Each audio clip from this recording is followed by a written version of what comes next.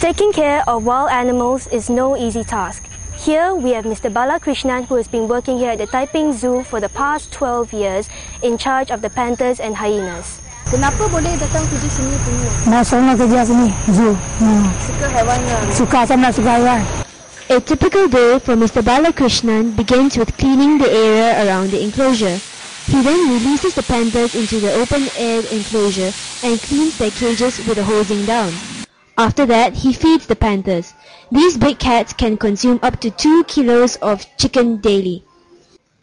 There are 11 panthers in the Taiping Zoo. These panthers are untamable but they will not attack unless provoked.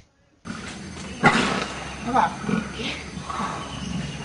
Inilah orang puasa kita bagi ganas jadi macam. Kita taruh kecil dia diam tadi dulu kan? Hmm. Kita kacau rumah dia dia jadi ganas.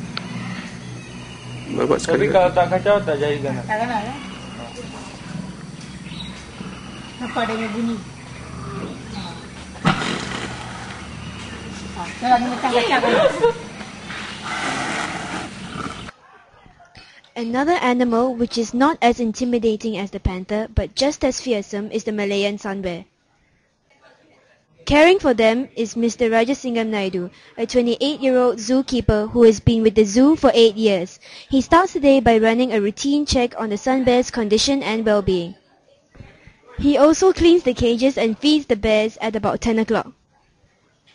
Mr. Rajasingam describes this job as being senang juga because the bears are quite obedient. It takes a lot of dedication, passion and guts to take care of these wild animals. It definitely isn't a job for the faint-hearted. Louis Tan, The Star, Malaysia.